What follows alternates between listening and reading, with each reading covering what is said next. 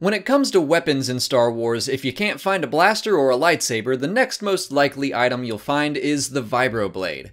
There were a variety of vibro weapons, including cutters, swords, rapiers, knives, staves, whips, axes, and more. But what makes the vibro versions different from their non vibro real world counterparts? That's what we'll explore today, but keep in mind most of this information will be coming from Legends sources. As the name might suggest, vibro weapons used ultrasonic vibrations to become more deadly. The vibro generators were usually found in the hilt or handle.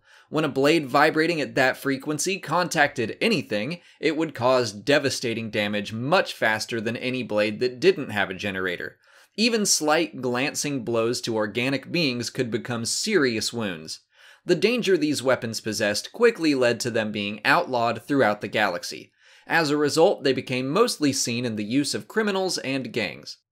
There were a number of modifications that could be made to a standard vibroblade to increase their effectiveness. There were different classes of vibrogenerators that could provide strength and focus to the point of any weapon, allowing it to penetrate even the toughest armors.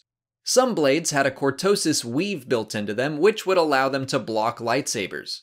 As I mentioned before, many normal weapons had vibrating variants.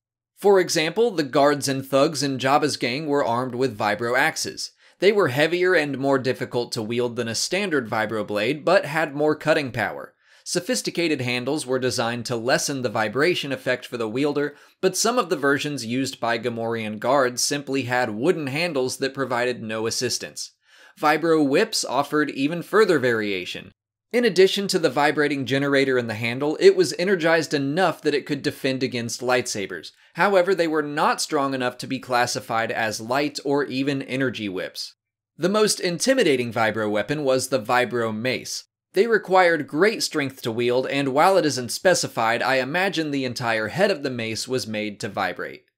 But the vibro staff had the reputation as the most deadly type of vibro weapon. They were the weapon of choice for the Imperial Royal Guard.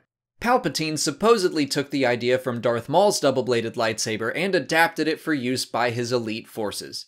The red cloaked soldiers used the martial art of Echani to expertly wield the blades in combat. While pretty much everything I just said was established in Star Wars Legends, vibroblades have appeared many times in canon. The Last Jedi actually introduced two new variants that can be seen used by the Praetorian Guard the Vibro Voulge and the Vibro Arbir blades. But that's it for today. If you haven't already, please like this video, subscribe to the channel, follow me on Twitter, Instagram, and Facebook, and consider checking out my Patreon page. As always, thanks for watching, and may the Force be with you.